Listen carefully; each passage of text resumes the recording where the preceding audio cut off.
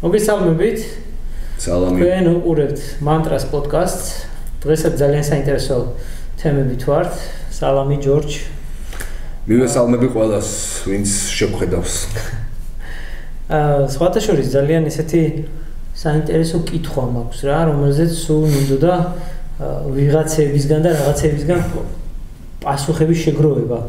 და იცი რა მაინტერესებს, აი, სად გადის ზოგადად ადამიანის უფლებები, მაგალითად.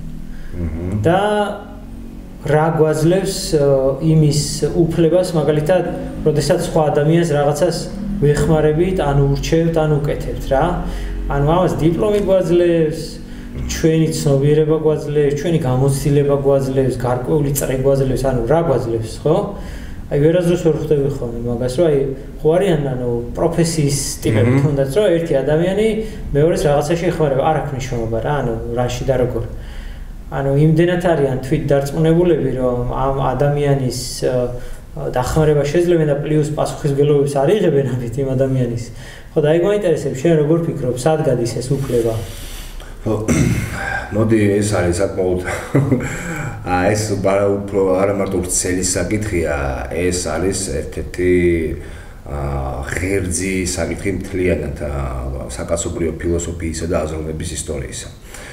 და გარდა იმისა, რომ ეს არის ერთ-ერთი მნიშვნელოვანი ფუნდამენტური საკითხი, რომლის ირგვლივაც ფილოსოფია ტრიალებს. აა ეს საკითხი ასევე დაკავშირებულია როგორც განყენებულ აბსტრაქტულ ცნებებთან და აზროვნებასთან, ასევე დაკავშირებულია უშუალო ყოველდღიურ ყოფით სოციალურ პოლიტიკურ და ეკონომიკურ რეალობებთანაც ხო? აი უფლება სადგადის და ჩემი უფლება. ანუ ეს არის საკითხი რომელიც თავის სიმრავლეში აერთიანებს როგორც აბსტრაქტულ ფილოსოფიურ ასე ვთქვათ განჯას აზროვნებას და ასე ფილოსოფიურ პრაქტიკას აბსტრაქტულს ასევე ყოველდღიურ სოციალურ პოლიტიკურ პრაქტიკას ყველგან ყველა ცივილიზაციაში. ამიტომაც შეიძლება ითქვას რომ ეს არის მთლიანად კაცობრიობისა და ადამიანობის ისტორიისათვის ერთ-ერთი უმნიშვნელოვანესი საკითხი და ამ საკითხის ირგვლივ იცვლებოდა სახელმწიფოები, ეპოქები, ცივილიზაციები, მთელი თავიანთი ფილოსოფიური, სოციალური და ეკონომიკური აპარატებით და გადაყოლინან ამ საკითხებს ასე რომ თქვა თავიანთი და ამ საკითხის ირგვლივ მომხდარა ფუნდამენტური ცვლილებები. უნებრივია მე ახლა ამ შემთხვევაში ჩემ სუბიექტურ ხედვას მეტნაკლებად მოკლედ ჩამოაყალიბებ და ასევე მოკლედ განვარცხო რამდენადაც ამას დროის ჩვენი ფორმატი მოგცემს. პირველ რიგში მე დავიწყებდი ასე რომ აა როდესაც საუბრობთ ხო, თუნდაც კონსტიტუციის კონსტიტუციურად, რომ არა მარტო საქართველოსში, არამედ მთლიანად ხო დასავლეთის თქო კონსტიტუციებში, დასავლეთის სამყაროს კონსტიტუციებში, აქ იქიდან წამოვიდა, რომ ადამიანს აქვს სიცოცხლის უფლება სიტყვაზე, ხო? ადამიანს აქვს კერძო საკუთრების უფლება და ასე შემდეგ. გავუძღოთ მე სიცოცხლის უფლება. აი, იქ ჩდება კითხვა. საიდან მოდის ეს? ვინ იძლევა ამის ლეგიტიმაციას, ხო? ვინ გასცემს აი ამ აი ამ ასე ვთქვათ ბრძანება, ამ ინსტრუქციას, ვინ გასცემს ამ ლეგიტიმაციის, ასე ვთქვათ გამოვლინებას და იმპლემენტაციას ვინ ახდენს ზევიდან? ვინ უთხოვს იმ ჩაქურს და ამბობს, კი, შენ ადამიანს გააქვს სიცოცხლის უფლება და ეს შენი აბსოლუტური და ძირეული უფლებაა, ხო? თუ დავაკვირდებით ცივილიზაციების ისტორიას და არა მოვალ, მარტო ვთქვათ მე-20 საუკუნის მეორე ნახევრის ისტორიიდან მოყოლებული ისე დასავლეთ სამყაროზე ვამბობ, ხო? ანუ თქვენ ნახოთ ყოველს ეს ასე არ იყო. ეს განმანათლებლობის ეპოქის ასე ვთქვათ პროდუქტი არის აპოლო ჯამში თუ ავიღებთ რომის იმპერიას იქ საერთოდ სიტყვაზე. და სხვადასხვა იმპერიებს და სხვადასხვა ძალიან დიდ ცივილიზაციებს და კულტურებს იქ ადამიანს აბსოლუტურად სიცოცხლის უფლება ესე არ იყო მოცემული. ჩვენ ხვდებით ამ შემთხვევაში იმას რომ ეს ყველაფერი გარკვეულწილად არის კონვენციური. ანუ ადამიანები გარკვეულ სახელმწიფო წყობაში, გარკვეულ ეპოქაში, გარკვეულ სოციალურ, კულტურულ და ეკონომიკურ დისკურსში შეთანხმდნენ და თქვენს იცი რა არის მე ვიზიარებ იმ აზრს და იმ ხედვას, რომ ადამიანს უნდა კონდეს სიცოცხლის უფლება. სხვა შემთხვევაში დგება მეორე სახის ლეგიტიმაცია. ეს არის მეტაფიზიკური. ამ შემთხვევაში ამბობ რომ ადამიანს სიცოცხლის უფლება აბსოლუტურად და ხასრულად აბსოლუტური. აქვს იმიტომ აი აქ ერთი მომენტია რა სანამ წავალ კონვენციული თუ არის და თუ ადამიანები შეთანხმდნენ რომ ეს ასია, ხო? მაშინ ის აბსოლუტური არ არის, ხო? ეს იმიტომ რომ ამ მე ასე ვიტყვი, პრაგმატულად ვიტყვი, რომ მე მაწყობს ისეთი სახო, ხო, მე მაწყობს ისეთი საზოგადოება, სადაც ადამიანს იქნება სიცოცხლის უფლება, იმიტომ რომ მე საზოგადოება ეკონომიკურად, პოლიტიკურად, სოციალურად იქნება უფრო სტაბილური, უფრო თავისუფალი და უფრო მეტი კეთილდღეობა იქნება. ანუ ეს არის ჩემი პრაგმატული, კონვენციული, ასე ვთქვათ, დისკურსი. მაგრამ როდესაც მე აბსოლუტური ამ შემთხვევაში მე ვამბობ რომ ადამიანს ეს დაბადებიდან აქვს.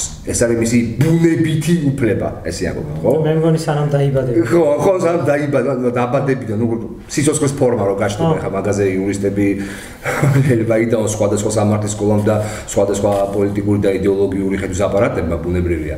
მაგრამ აბსოლუტური უფლება რაც ვამბობ ეს იმას ნიშნავს რომ ეს უფლება მე ვაცხადებ რომ ეს უფლება ჩვენი ადამიანური კონვენციის მიღმა დგას ანუ ჩვენ რას და როგორ ვიფიქრებ ადამიანები მაგას არ აქვს მნიშვნელობა ეს უფლება არის აბსოლუტური.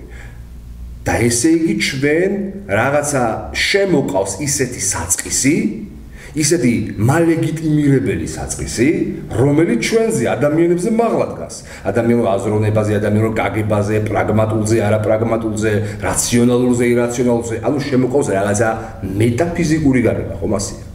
აქედან გამომდინარე, თუ ჩვენ ვიზიარებთ იმ აზრს, რომ ადამიანის სიცოცხლის უფლება არის ბუნებითი, არის ორგანული, რომ ის ადამიანის და საზოგადოების მხრიდან გადახედვას ვერ დაექვემდებარება, რადგან ის არის ორგანული, უბრალოდ ეგ თავიდანვე მოცემული, ჩვენ გვინდა თუ არ გვინდა, ვაღიარებთ ადამიანურ საზოგადოებაზე მიღმა მდგომ ინსტიტუციას, რომელიც ადამიანურ საზოგადოებაზე მაღლა დგას, მიღმა დგას და რომელიც ამის ლეგიტიმაციას იძლევა. შესაბამისად, ჩვენ გავდივართ უკვე მეტაფიზიკურ საწყისში და ჩვენ რას ვშვებით ამ შემთხვევაში? მეტაფიზიკურ გონს.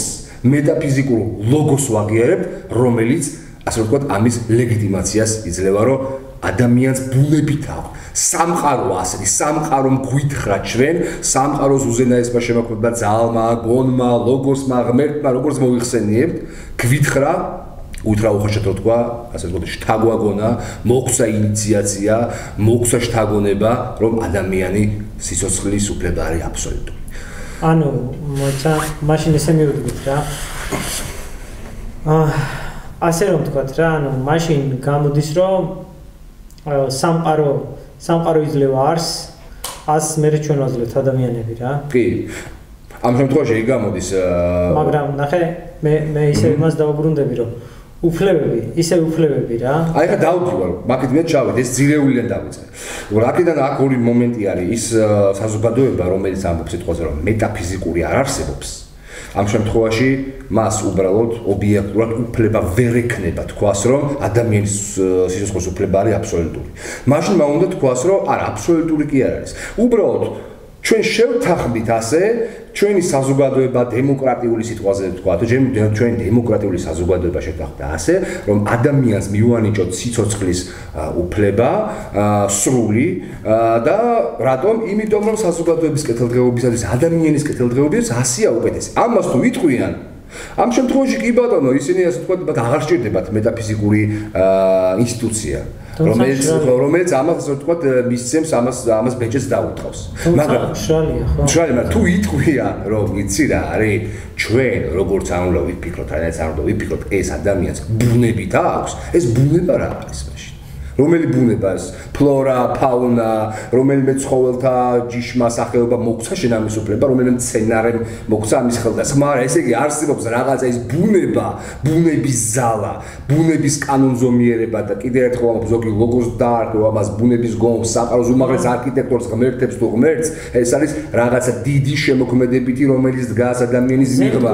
ზემდგომი და რომელიც ამის ლეგიტიმაციას იძლევა, როგორც ბუნების ძირეული არსი, ცოცხალი არსი და კანონზომიერება. აი ეს მომენტი ძალიან მნიშვნელოვანია, თქვა, იმიტომ რომ კიდევ ერთხელ გავამეორებ, ადამიანთა ის ჯგუფი, ის დისკურსი, რომელიც ამბობს, რომ ადამიანს აქვს აბსოლუტური უფლება, მაგრამ არ აღიარებს მეტაფიზიკურს, ის უბრალოდ თავის თავზე წინააღმდეგობაში მოდის. ამას ჯობია თქვა, რომ თქვან იმ ადამიანებმა, რომ აი ეს ყველაფერი არის ადამიანებს ხა მოვისე ვამბობ რა, ამ ადამიანებს გული კონკრეტულ ცივილიზაციურ დისკურსს და საბოლოო ჯამში ამ დისკურსის გამახვილ ცელებები რა თქმა უნდა ადამიანები არიან.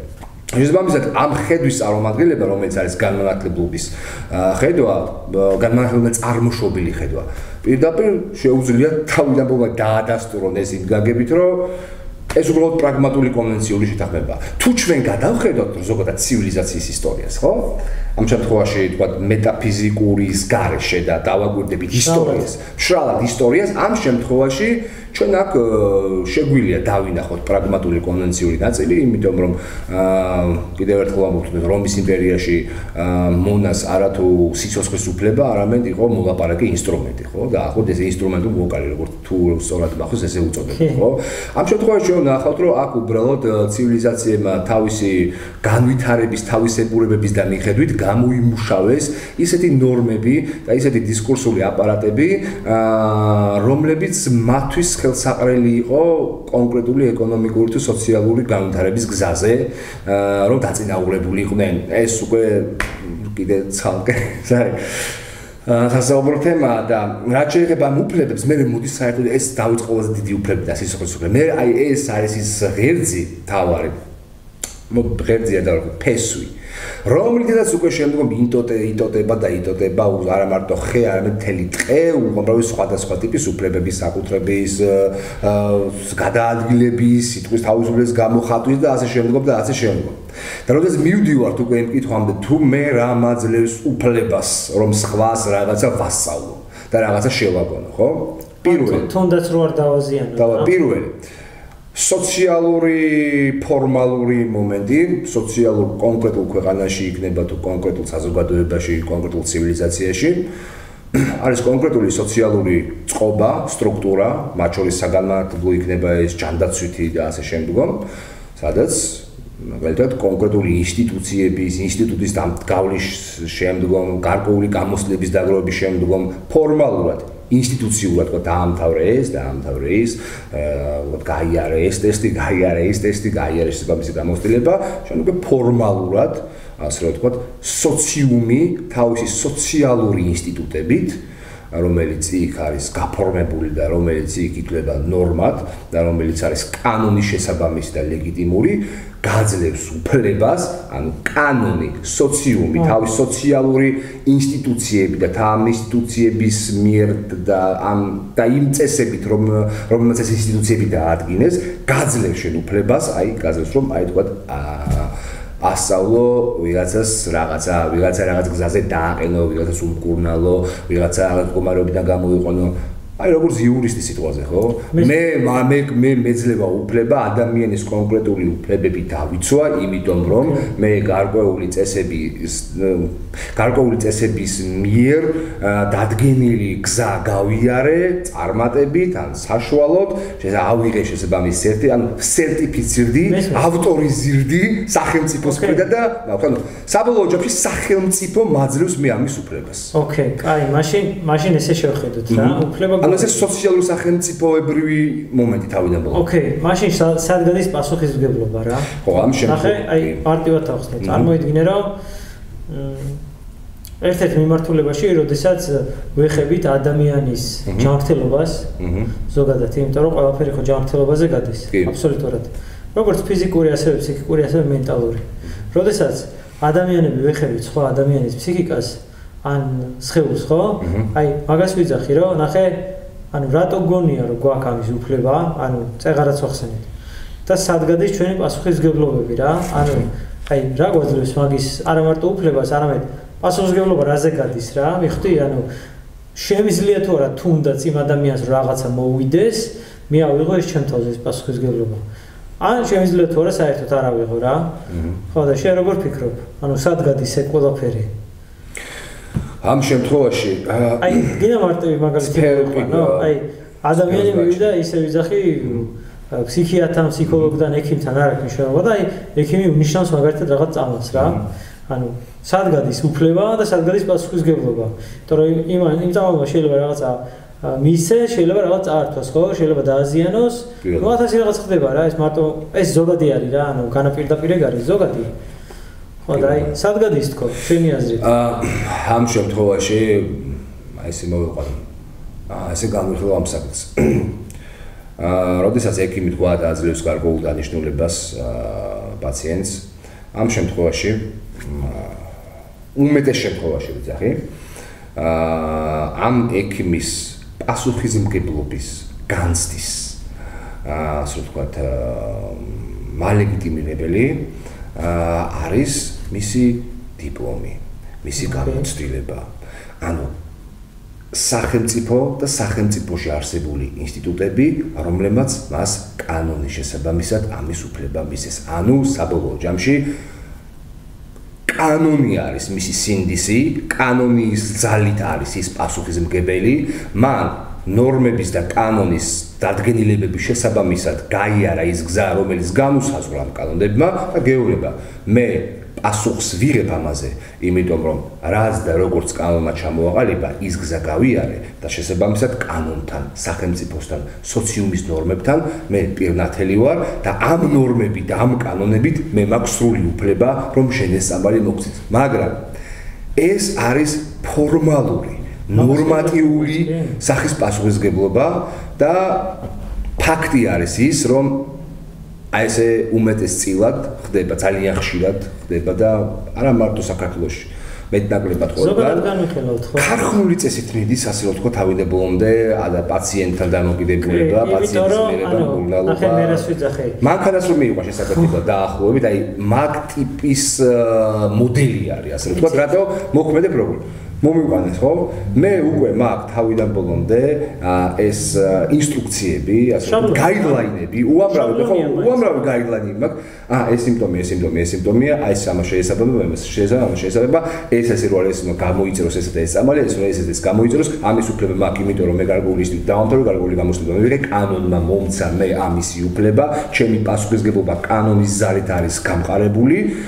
ინსტრუქციები კი ბატონო ეს ინსტრუქციები ჩემი აზრით კი არა ობიექტურ ჭეშმარიტება რომ ამ ინსტრუქციამდე მეცნიერები თავიდან თავიანთი მრავალ წლიანი მოღვაწეობის შედეგად. შესაბამისად ჩემი პასუხისმგებლობა ეფუძნება არა მარტო სახელმწიფოს მიერ გაცემულ დიპლომს და ჩემ შესაბამის სერტიფიკატო გზას და ჩემ ავტორიზირებულ გზას, ავტორიზებულ უფროსად გზას, არამედ აი ეს ინსტრუქციები მე რომ მიჭიროს ხოლმე ეს არის სოფლიო საერთაშორისო მეცნიერთა მრავალწლიანი ნაღვაწი, შედეგი ჩამოყალიბებული შესაბამისად ჩემი პასუხისგებლობის უკან დგას ასევე აი ეს უამრავი მეცნიერი. მაგრამ ისიც ხო ფაქტი არის რომ ადამიანის მეცნიერები და მეცნიერება ძალიან ბევრ რამეს რასაც ამტკიცებს აა გარკვეული პერიოდის მანძილზე შემდგომ სხვა პერიოდში მას ან ფუნდამენტურად ცვლის ან მნიშვნელოვან მოდიფიკაციებს უკეთებს იმიტომ რომ ადამიანის ყველაზე ღრმა ადამიანს თავი დავანებოთ უბრალოდ სულ ელემენტარული ბუნების მოვლენები რო აიღო ავიღოთ მის უკიდურეს პრიმიტიულ გამოვლენებაში ახაც კი ძალიან ბევრი რამე არის ხო? უცნობი მისი მექანიზმები თუ ეხა ძალიან ღრმად ჩავალთ ხო? იმიტომ რომ ამ ხრივ ბუნების აბუნების მეტყველს აღებს რაც შეეხება ხო ფიზიკას ხო და ჩვენ ვითვალისწინებთ მარტო ეს ხო აი აი ხა მივიდივართ ახლა ეს ეს თელი ეს ეს იმიტომ რომ მოყოლე რომ ერთის მხრივ ერთის მხრივ ეს არის მიდგომა, იცი რომ ანუ რაც ეხლა ჩვენ გვაქვს თავიდან ბოლომდე გამოცდილება თქვა კონკრეტულ სფეროსა და დარგში. მოდი ეხლა ეს არის სისტემატიზირებული და შესაბამისად აი ამას სისტემატიზირებულ ამ მოცემულობას, ამ გამოცდილებას მე უკვე ქარხნული პრინციპით, ამ გაიდლაინები და ინსტრუქციებით პირდაპირ ვიყენებ, ასე ვთქვათ რა. მე კი აქ დგება საკითხი რომ შენ ძალიან ბევრი რამე არიცი ბუნებრივია საერთოდ მით უმეტეს ადამიანზე. და ძალიან ბევრი რამის ფუნდამენტური კვლევა და ფელი რიგი სიახლეების აღმოჩენის ზღურბლზე დგანან ახლა მათ შორის ამედიცინო სფეროშიც და შენ მიერ გაცემული აი ეს ინსტრუქციები ფელი რიგი ადამიანებისათვის შეიძლება მართლაც რომ დამაზიანებელი აღმოჩნდეს იმიტომ რომ თითეული ვიმაგრო თითოეული ადამიანის სხეული არის უკიდურესად ინდივიდუალური, არა მარტო სხეული, არამედ ამ სხეულში ჩაბუდებული მთელი მისი ფსიქიკური შინაარსები, რომელიც დაგროვილია მისი ცხოვრებისეული გამოცდილებიდან და მისი გარემოდან და ასე შემდგომ, ხო? და ამ ხრივ რა ხდება? რეალურად ჩვენ ძალიან დიდ ბნელ ოთახში დავდივართ. აა იქ არც თეთრ და არც ჩავკატას არ ვეძებთ, უბრალოდ ამ ბნელ ოთახში ვანათებთ უკიდურესად მცირე ფართის რაღაც წერტილს ან ხო აი წერტილს აი ამ წერტილს და ამ წე განათებული თეთრი წერტილიდან გამოგვაქვს ზოგადი დასკვნა თლიანად ამ სივრცის შესახებ და ბუნებრივია რომ ჩვენ აქ ჯუნგლებში ვარ და ბუნებრივია რომ ჩვენი პასუხისგებლობა ქიმერა თავიდან ბოლომდე თუ გავითვალისწინებთ ამ უსაზღურო საიდუმლოებას ჩვენთვის საიდუმლოებას ადამიანის ადამიანისათვის რა საიდუმლოებაც არის სამყაროში ჩვენთვის და თუნდაც ერთი კონკრეტული ადამიანის თავს და ერთი ადამიანი კონკრეტულ ფსიქიკაში. მაგრამ მეორეს მხრივ ცივილიზაცია ვერ გამთარდება ესე ანუ და ის მომენტი რომ მე სრულიად სამართლიანად შევიტანო ეჭვი ჩემს ცოდნაში ამა თუ იმ საკითხის შევიტანო სრულიად ობიექტური და სრულიად სინდისიერი ეჭვი რომ აიცი რა მე რაც ვიცი ეს ზღვაში წვეთიც არაა და მე რასაც და როგორც ვაკეთებ ამას შეიძლება ისეთი შეგებები გამოიყოს მომავალში რომელიც მე საერთოდ არ მაქვს ხო გათვლილი რა. ხო მაგრამ ამ ეჭვიდან გამომდინარე თუ ჩვენ თუ მოქმედება შევწყვეთ ჩვენ შეიძლება საბოლოო ჯამში ზოგადი მასშტაბით თუ გასასვლელ უარეს შედეგი მივიღოთ შეიძლება საბოლოო ჯამში ნახე კაცობრიობა როგორ გადიოდა თავის ცივილიზაციას ანუ ცდა ექსპერიმენტი ქმედება ცდა ექსპერიმენტი ქმედება შეშლა. ამას ძალიან ბევრი გადაყვა მაგრამ ასეთი არის ადამიანის თუმცა აი ბოლოს დავამთავრებ და ეს რომ აი ეს გამოხმაურება ბოლოს პირველ რიგში ადამიანი რომელიც უმეტეს თავისი ქმედებით, თავისი საქციელით, თავისი რჩევით, თავისი აქტივობით პასუხისმგებელია, თუნდაც ძალიან ცოტათი მაინც. სხვა ადამიანის ჯანმრთელობაზე იქნება ეს ფსიქიკური, იქნება ეს ხეულებრივი, თუნდაც სხვა ადამიანის აზროვნებაზე და უმეტეს ადამიანებისა, ხომ? ის მისი პასუხისმგებლობა გასაგებია, რომ ფორმალური დიპლომიზირებული და ავტორიზებული პასუხისმგებლობა უდევს გვერდზე.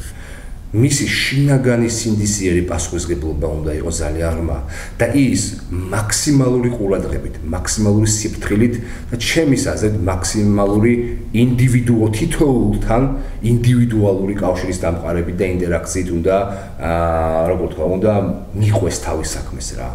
არ შეიძლება ყველა ანუ ადამიანს ასე ქარხნული წესებით ასე თქვა და და მომენტი არის. იცი რატო ნახე ეხა ცოტა შემდეგ ლეველზე გადავიდე რა. ეხლა ჩვენ დავიწყეთ ცოტა დაბლიდან. წარმოიდგინე ეხლა რა ხდება, როდესაც ჩვენ ადამიანის ფსიქიკას და ცნობიერებას ვეხებით რა.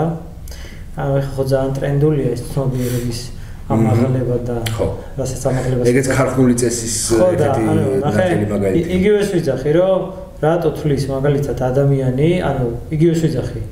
ახლა რაც თავში დავსვი, ოღონდ ცოტა სხვანაირად რა. რატო თulis ადამიანი რომ მას შეუძლია სხვა ადამიანის ცნობიერების ამაღლება ან გაფართოება. ანუ შენი აზრით რა, ანუ რატო გვაქვს ამის ამბიცია ზოგადად ადამიანებს? ვაი, მე შემიძლია გამოვაღვიძო მაგალითად გარკვეული კოლექტივი, მე შემიძლია გამოვაღვიძო მაგალითად ბნელი ადამიანი, ან მე იმას ეძინა და მე გავაღვიძე. აი, სადგადის თქო ეს ყველაფერი კი, ის ამბიცია, ასეთ ამბიციას რამოდენიმე წყარო აქვს. არ არის ესეთი წყარო არ არის ამ ამბიციას.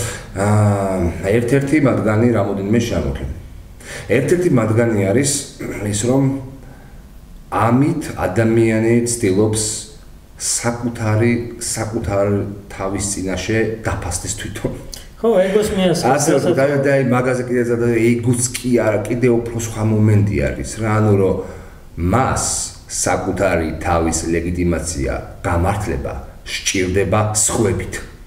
შესაბამისად, როდესაც ის ამბობს, რომ მე შენ აგიმაღლებ ცნობიერებას, ის თავის თავს ეუბნება, რომ შენ ხარ ამაღლებული.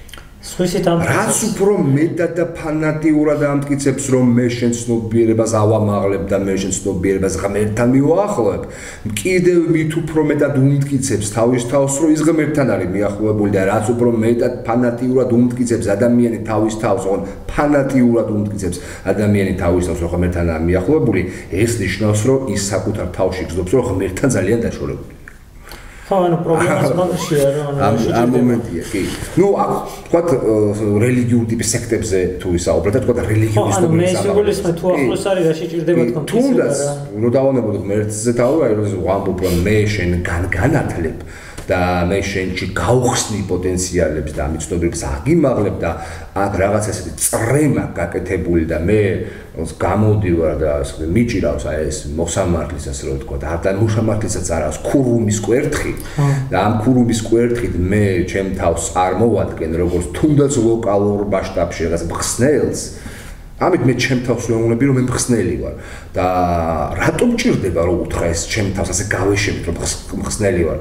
ესე იგი რაღაც ისე ღრმა ყლაპოში ვარ და რაღაც ისე ღრმა გაჭედი ორმოში ვარ რომ მე მესაჭიროება რომ ჩემი თავის მხსნელად პროექცირებით ჩემ თავს უთხრა რომ ჩვენ ორმოში არ ხარ. სხვების სახელით კი სხვების სახელით ხო რომ ჩემ თავს სხვების სახელით დაუმტკიცო რომ მე ორმოში არ ვარ.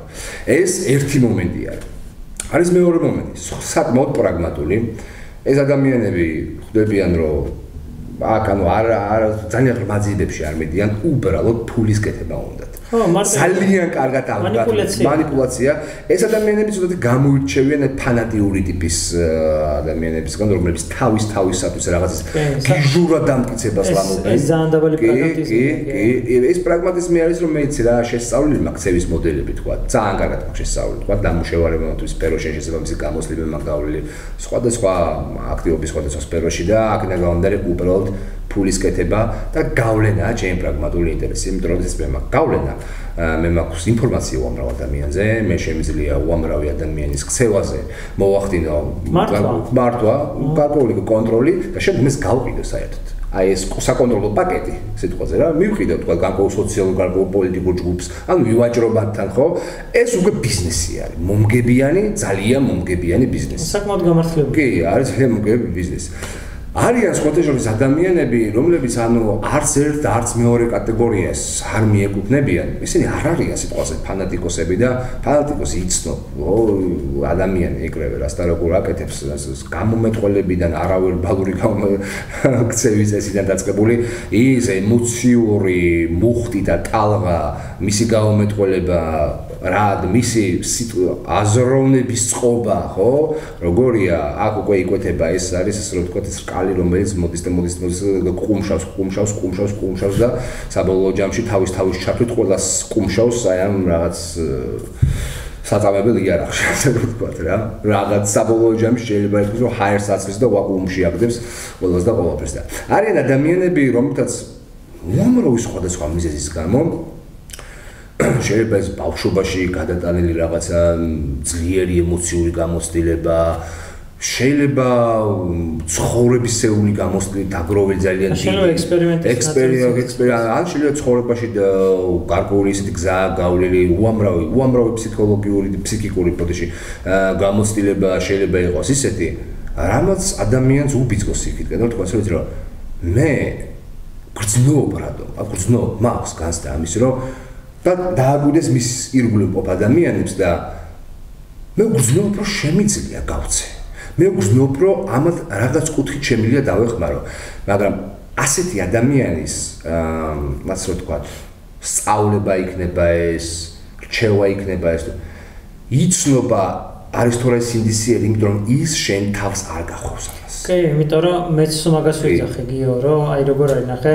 აჰა ზოგადად რა ყველაზე ადამიანი ადამიანური ფორმა არის ინფორმაციის გაზიარება. ანუ გაზიარება. ნახე, მე ინფორმაციის გაზიარებით შეიქმნა ადამიანი. ხო, ნახე, მე ვაზიარე. მე ხვდები, მე არც არ ვამტკიცებ. და არც კონკრეტიკაზე მივინიშნებ. ანუ მე ვაზიარებ, იმიტომ რომ მე ხო ჩემი სუბიექტური აზრი მაქვს. ნახე, შენ გინდა მომისმენე, გინდა ნუ მომისმენე, გინდა მიიღე, გინდა ნუ მიიღე. მე ვაზიარებ. ყველაზე ადამიანური ფორმაა ჩემი აზრით რა, როდესაც მტკიცებულება არა და ჩემი აზრით მაინც ეს ქმნის ხოლმე ნდობას რა სხვა ადამიანებში რა და თან პლუს მაგას ანუ მეორე მხარეც რო შევაჯამოთ რა აი სუფიებს აქვს ეგეთი გამონათქვამი რომ როგორ ამოვიცნოთ სულიერი ადამიანი. არა იმით რაზე საუბრობს ან არა იმით რა ინფორმაციას ფლობს არამედ რა ატმოსფეროს ქმნის თავის გარშემო.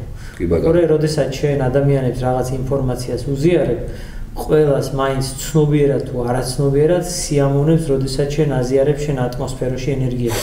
აჰა. თორე ეს არის ყველაზე ადამიანური რა, იმას რეალურად შენი ენერგია სიამოვნებს, იმიტომ რომ შენ ყველა ძვირფასად რაც გაგაჩნია სამყაროში და აი მაგის garaშე მაგიტო ვიძახი რომ შრალია ყველაფერი. კი. აქ ძალიან მნიშვნელოვანი მომენტია რა ბოლოსაც ვახსენე რომ თქვათ ეს ესეთი ტიპის ადამიანები რაღაცა სტიქიური ქარბალბალსავით არ მოდიან და არ გითხრევენ თავის ასე ვთქვათ турбулентობაში. აა მაგრამ არიან ადამიანები, რომლებიც იციან ეს ყველაფერი და манипулირებენ ამით. ანუ თითქოს არ გახვევენ თავიანთ აზრს, ასე ვთქვა თავს.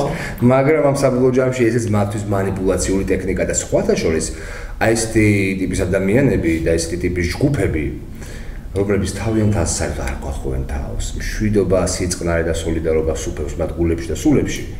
ამ დროს ესენი არიან, როგორ თქვა, ყველაზე მეტად შეფარული ადამიანები ძალიან ძალიან დიდი ყველაზე მეტად დაფიქრება და დაკვირვება მართებს რომ კი და აი ამ შემთხვევაში ზუსტად მივიდივართ იქამდე რომ ჩემის აზრით დაკვირვების ინსტრუმენტი ამ შემთხვევაში უნდა იყოს ზუსტად ემოციური ინტელექტი. ხო, და ინტუიცია. ინტუიცია რა, ემოციური ინტელექტი და ინტუიცია არის ამ შემთხვევაში ყველაზე მძაფრი ყველაზე გამოსად მძაფრი არა ვთქვით ეფექტიანი და ეფექტური ინსტრუმენტი რომ აი ამოიცნო რა ვინს რა საიტკენ მიყავს ეს მომენტი. იმიტომ რომ ყველაზე გავრცელებული ფორმა რა არის манипуляციის რომ აი შენ როგორც გინდა რო ეუბნება და რეალურად რა თქმა უნდა. უკვე უკვე წაყენებული აქვს მიხდი ყველაფერი და ის ადამიანი უკვე არჩევანის წინაშეა მიხდი ანუ შენ მე რატომ იქნი არჩევანს? რა საერთოდ ნუ მიმყავარ რა ანუ არჩევნება ნუ მიყევარ ანუ ჩემით რა ჩემით მოვა. და აქ ძალიან საფათოა აი ეს მომენტი იმიტომ რომ ადამიანი ყველაზე მეტად აი ნამდვილად ამას ყოველთვის ვამბობდი და აა რაღაც რაღაცეებზე ხო წლები გადის და შეიძლება რაღაც საკითხებს სხვანაირად შეხედო, მოდიფიცირება, მოახდინო შენი ხედვის და ასე შემდგომ აა სინთეზირება სხვადასხვა მომენტებთან, მაგრამ ყოველთვის აა კი არ შემიცვლია აზრი, უბრალოდ ვერ ვიცულდი ას და ხედვას, რაც მით უმეტეს რაც დრო გადის უფრო და უფრო წმონდა იმაში რომ ნებისმიერი ისეთი იქნება ეს ადამიანი, ადამიანთა ჯგუფი, თუ კონკრეტული, ასე ვთქვათ, სოციალური და პოლიტიკური, სოციალური, ეკონომიკური დისკურსი, ხო, მოდი ვთქვათ. აა და განსაკუთრების სფეროში, რომელიც აი ცნობიერების ამაღლებას, ადამიანის იდეოლოგიას, მსოფლმხედველობას ეხება, ზუსტად ის დისკურსები, ის ნარატივები და ის ხედვები, რომლებიც რაღაც საოცარ ჰუმანიზმს, საოცარ ჩართულობას, საოცარ ინკლუზიურობას გადაგებენ. მათ უკან არის ხოლმე ყველაზე მეტად დიდი ჭრილები და მათ უკან არის ყველაზე მეტად ძალიან დიდი ჭაობი. ისინი ვინ სულიერებით საუბრობენ? ვინ სულიერები და ხას უსვამენ შენ როგორც გინდა ისე გააკეთე. შენი ნება, შენი არჩევანია.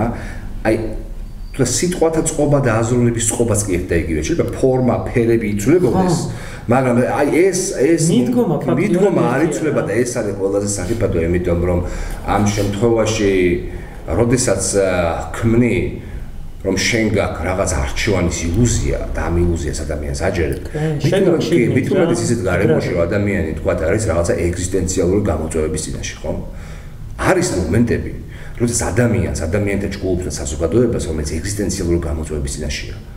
სულ სხვა რაღაცეები აქვს, დასალაგებელი რა. სანამდე ის ლეგვის ხის ირგვლივ იცეკვებს და გასხივოზნებას ეფიქრებს, პირველ რიგში მან საკუთარი ფუნდამენტურად საკუთარი თავი უნდა რაღაცნაირად შეინახოს. აქ ხო არ არის ის მომენტი, რომ ჩვენ თუ საუბრობთ ხალხზე, თუ კონკრეტულ ინდივიდებზე საუბრობთ, ეგ სხვა მომენტია. კი, ეგ სხვა მომენტია. თუ ჩვენ საუბრობთ ხალხზე, ამათ პრეტენზია აქვს ხალხზე, მასაზე. მოდით განვსხვაოთ, როდესაც ზოგადად კონკრეტულ ინდივიდზე საუბარი, რომელსაც სპეციფიური ცხოვრების გზა აქვს და მართლა მისი ცხოვრების გზა, ვთქვათ, ფილოსოფიური იქნება, ეზოტერული იქნება, იდეოლოგიური იქნება, გამოკვეთილად ამ ხაზით მიდის და თავისი, ასე ვთქვათ, კვეთრად გამოხატული ინდივიდუალური გზა აქვს. ამაზე ჩვენ არ საუბრობთ, ხო, კონკრეტულ ინდივიდებზე. ჩვენ საუბრობთ ამ შემთხვევაში საზოგადოებაზე. კოლექტივზე საუბრობთ. საზოგადოებას და კოლექტივს აქვს თავისი გონი გონი ჭალებში რომ რა. და თავისი ხო კოლექტიური ცნობიერი შეიძლება ასე ვთქვათ და ამ საზოგადოების ქმედებას, ქცევას, საზოგადოებრივ არტიკულაციას, როგორც ემოციურს, ასევე კონკრეტულს, ხო, ყოფის სოციალურს და ეკონომიკურს აქვს თავის კანონზომიერება.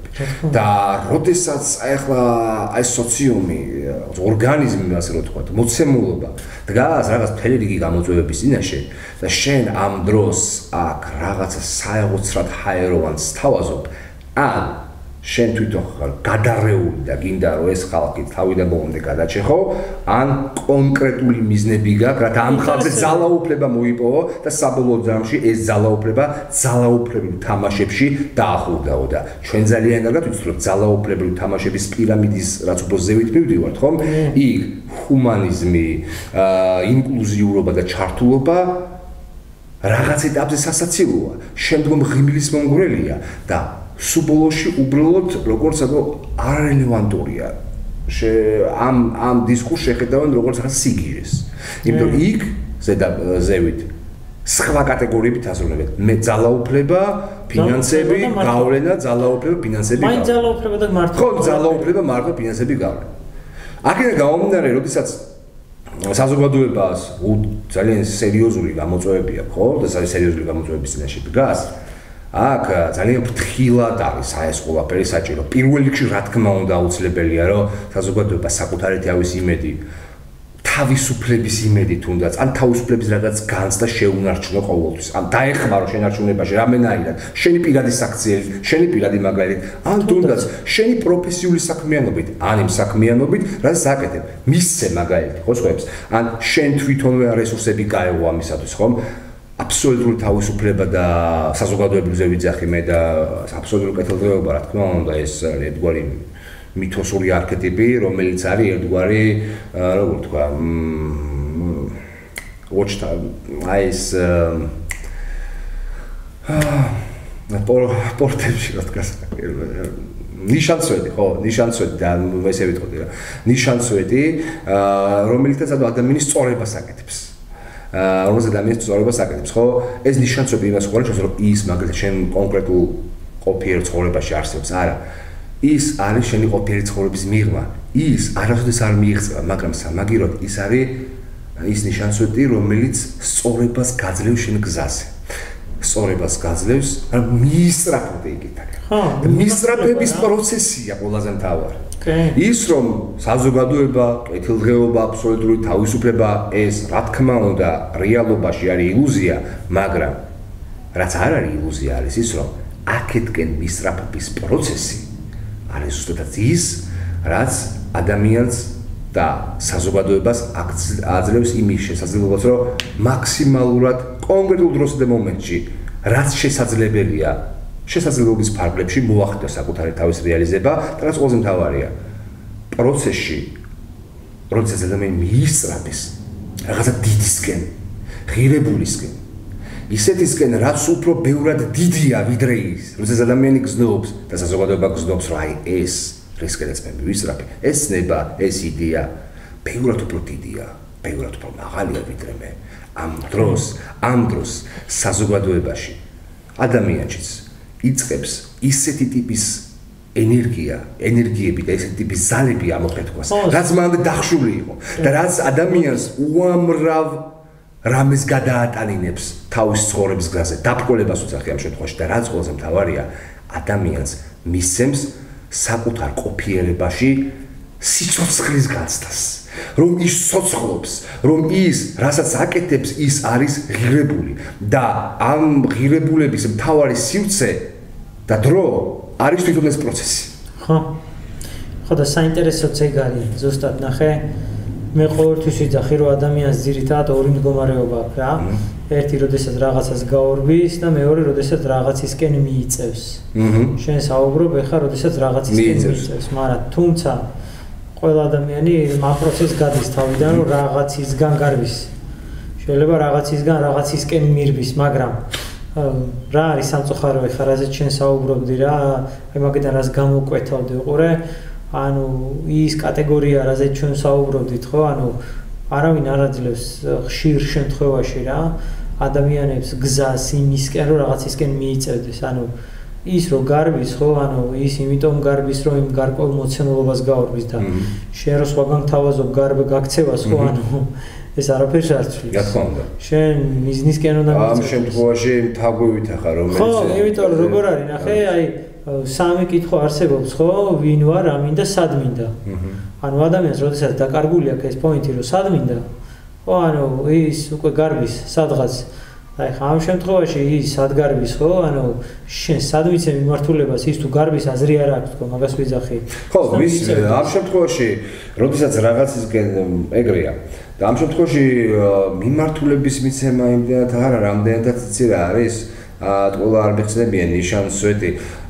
ეს არ არის თქვათ ინსტრუქცია, ანუ რუკარო შენ მაგათ ამ ადგილიდან ამ ადგილზე გადააქვს. ანუ თვითონ უნდა მივიდეს. თვითონ ანუ ის უნდა ხედავდეს მას ყველგან, აი დაახლოებით როგორი ვარიანტია ეცით რომ აი სიტყვაზე ახლა ცაზე რო ავიხო ხო აი ვარშავი აქეთ ჩანსი აი სადაც არ უნდა გავიდე კონკრეტულ არეალზე ვიძახ ხო ჩანსა რა ამ შემთხვევაში ნიშანსვეტი უნდა იყოს აა თუ კონკრეტული რუკა არის დადებული აი შენ აქედან გამოვიხარ და ეხლა ეს უნდა გააკეთო და აი აქ და აქ უნდა მიხვიდე საბოლოო ჯამში ეგეთი ხელოვნურად შედგენილი რუკები ყოველთვის იმსხრეოდა ვერ უძლებდა ვერ არათუ დიდ დროს ძალიან პატარა დროსაც ვერ უძლებდა სწორედ მე-20 საუკუნეში ძალიან ბევრი ეგეთი ხელოვნური რუკა შედგა.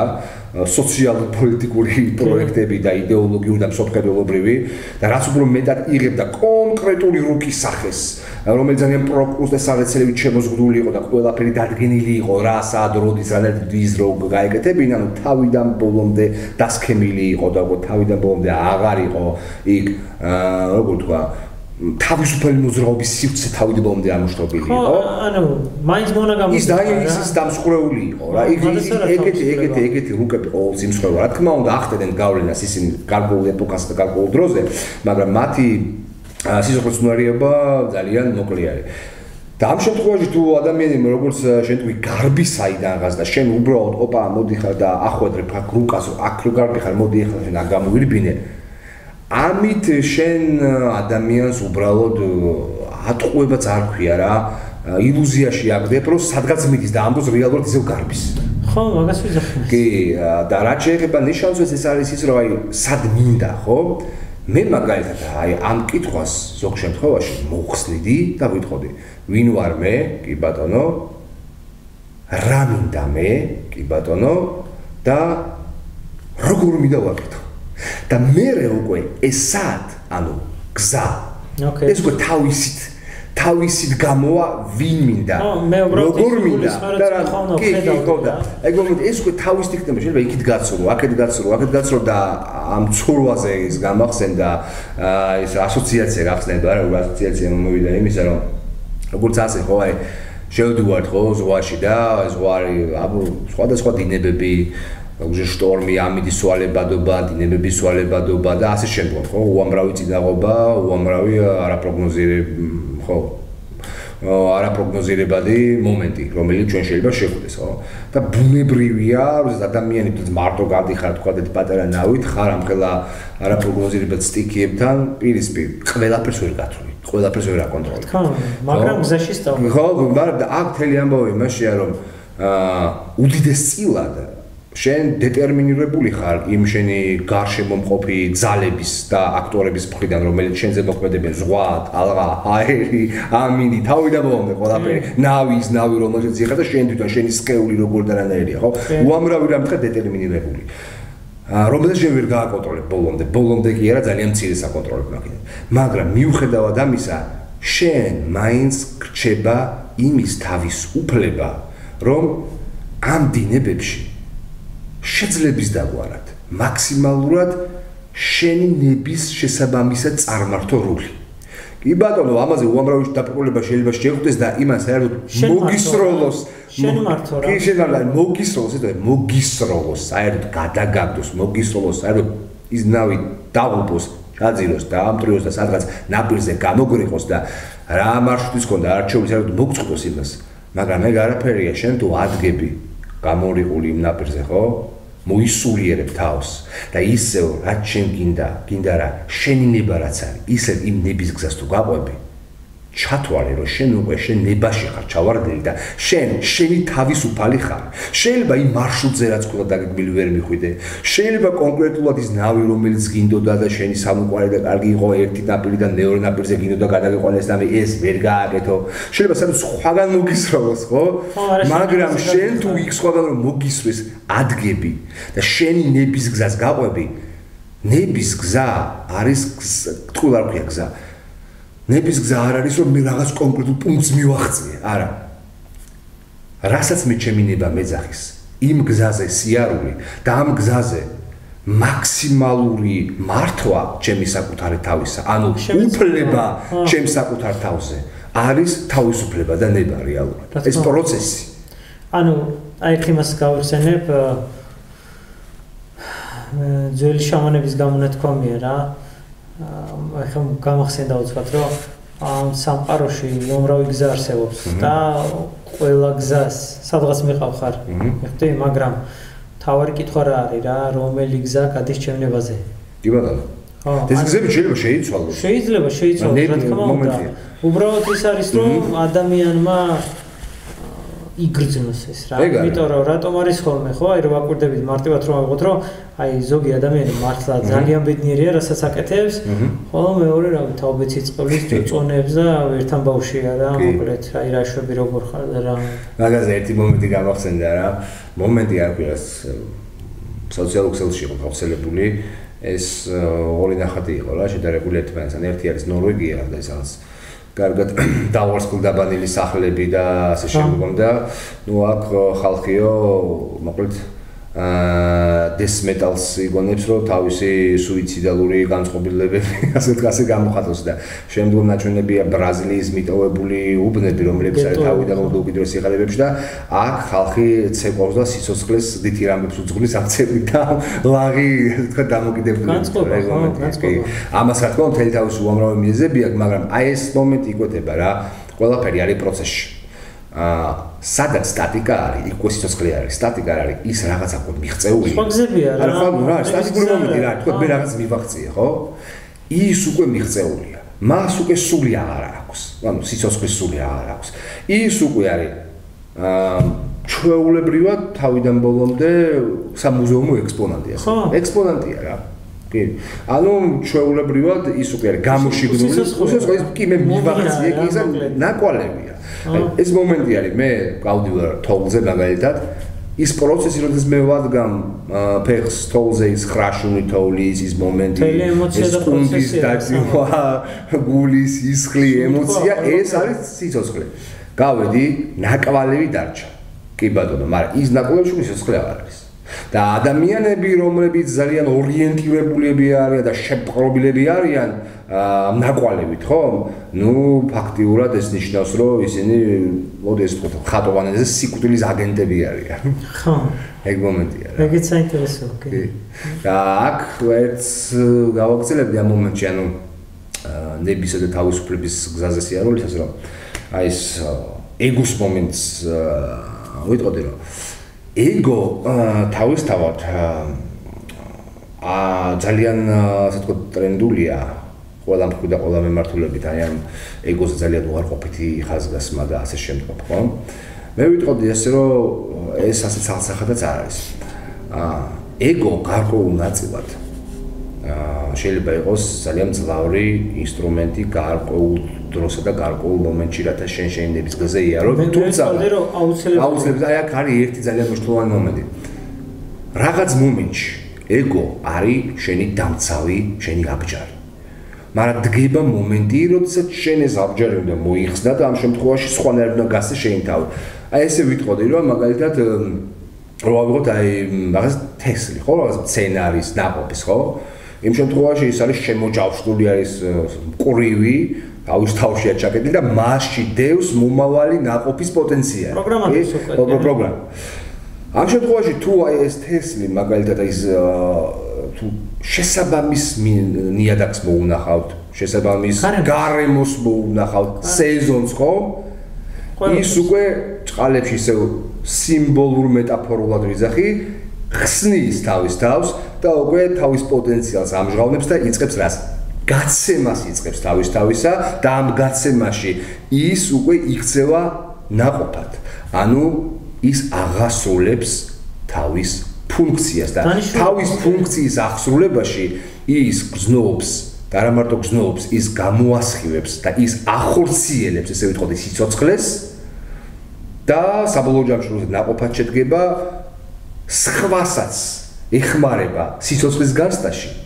სხვასაც ეხმარება თავის სიცოცხლეში და თავ თვითონაც ცოცხლობს როდესაც ის თავის ფუნქციას აღასრულებს, ხო?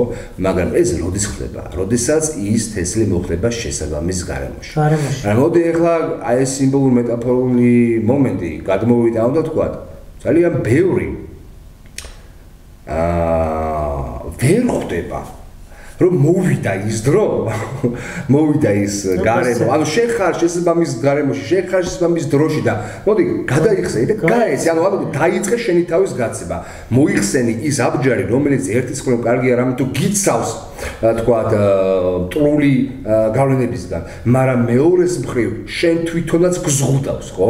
შენი შემზღუდველი ძალიან არა ძალიან ელემენტარული. კი რაღაც ძალიან ელემენტარული. აქ მომენტი არის ის რომ არიან ადამიანები რომლებიც ადამიანები ზოგადად თქვა არიან და ადამიანები რომლებიც ვერ გრძნობენ საერთოდ აი ამ გარემოს იმიტომ რომ ამ ანუ არის არის მითხე სხვათა შორის ამას უნდა უნარი.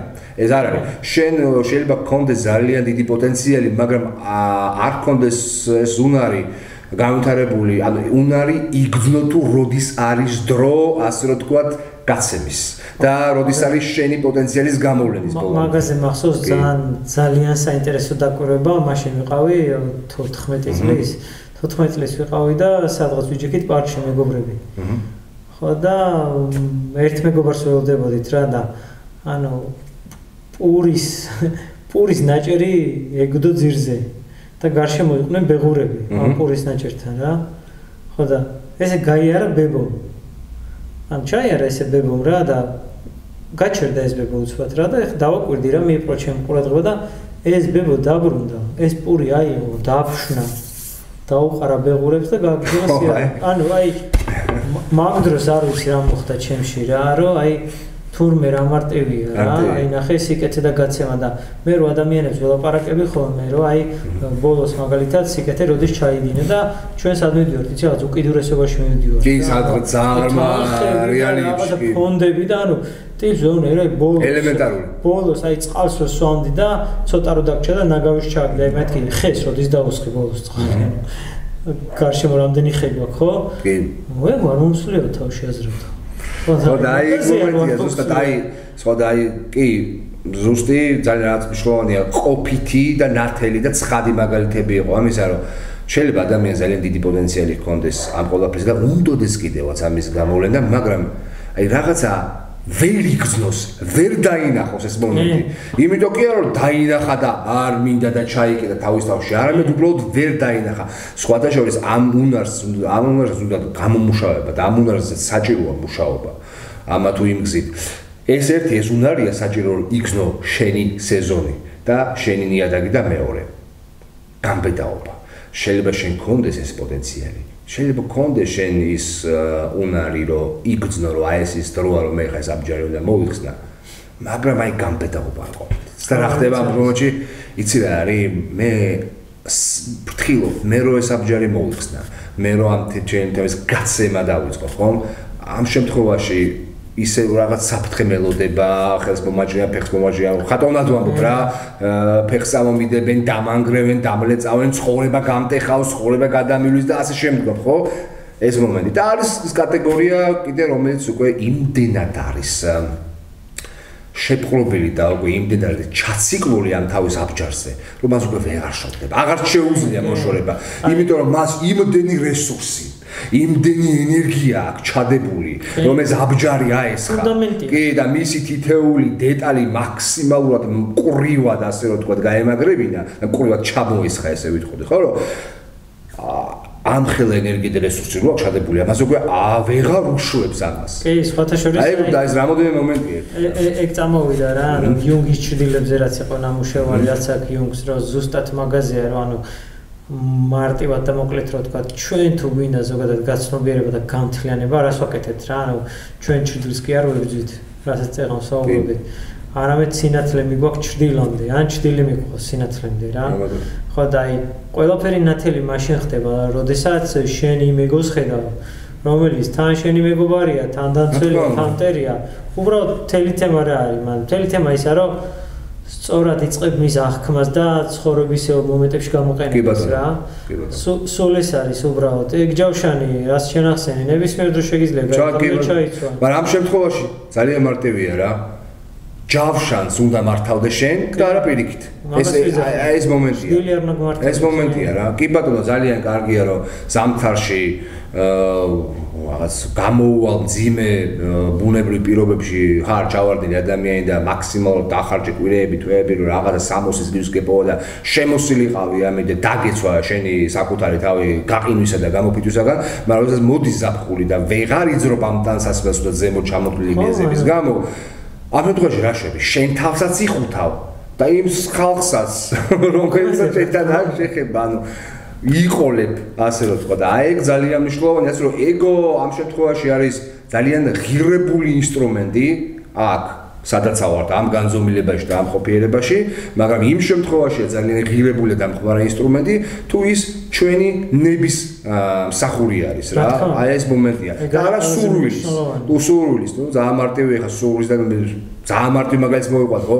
მე მაგალითად მიზნად მაქვს დასახული რომ სიტყვაზე სამი კვირის მანძილზე გარკვეული პროექტი უნდა დავწერო, რომელიც მე შემდგომ ჩემ, რა თქმა უნდა, სასურველ შედეგს მომიტანს, ხო? რაღაც მოგება იქნება ეს თუ ასე შემდეგ. მოკლედ სარგებელს, ამათომის სარგებელს მომიტანს, ხო? და მე ვიცი რომ ამ პროექტის დაწერას სჭირდება სამი კვირა თავაუღებელი შრომა, თუმცა ის სარგებელი მე ძალიან მესაჭიროება და ჩემი ნება არის ამ სარგებლის მიღება. მაგრამ სიტყვაზე ამ სამი კვირის განმავლობაში გამიშთა სურვილი რომ აბა თქვა წავიდე იქ გავერთო ერთთან მე რა ვიცი როგორ დავლიო იქნება გავერთო და 1 5 6 დღე 8 დღე 9 დღე რა ძალიან დიდი სურვილი მაქვს სიტყვაზე ამისი რა ძალიან დიდი რა. მოკლედ თავიდან ბოლომდე მივეცე გართობას. ამ შემთხვევაში მოდის ნებისა და სურვილის თქვა ჯახი კი ბატონო, მე შემილია აი ეს კონკრეტული იმპულსური სურვილი დავეკმაყოფილო და თავიდან მომდე მივანებო თავი ამ ყველაფერს და მოკლედ გადავეშო და კარგად გავერთო, მაგრამ საბოლოო ჯამში რა აღმოჩნდება, რომ ის რაც მე ნებავდა, აი მართლა შინაგანად რაც მინდოდა, ის დარჩება განზე და კონკრეტული აფექტური სურვილი თავიდან მომდაძირავს ამას. მე დაგვარტყა. კი ბატონო, აი ეს არის, ამიტომ ყოველთვის მინდა რომ რაღაცა ძალიან მარტივი მაგალითები მოვიყვანო ამისათვის რა. ეს მომენტი არის რა, როდესაც თავისუფალი ხარ, როდესაც შენ მაქსიმალ როდესაც შენ შენ სურვილებს შენ ტოლვებს ნებისმიერ აი სწრაფებს რაც გაქვს ხო? მაქსიმალურად არის მართული შენი ნების მხრიდან მაქსიმალურად არის დაყენებული შენი ნების გზაზე. აი ეს ყველაფერი. და ეს ყველაფერი ასე ვთქვათ მეტნაკლებად ასე თუ ისე მაგრამ უფრო მეტად შეიძლება ამის კონტროლი ამის მართვა ამ სურვილების მართვა მით უფრო მეტად ხარ შენი საკუთარი თავის უფალი. ეს უფალი ამ შემთხვევაში არის ნება. საკუთარი ადამიანის ნება. მე მგონი რომ კაი გამოვიდა კი აი ეს ჩემი საზრით ამ რაღაც ერთ საათში საკმაოდ მრავალი თემა ჩავატეთ მაგრამ არა ჩვენ კი მადლობა. ასევე ასევე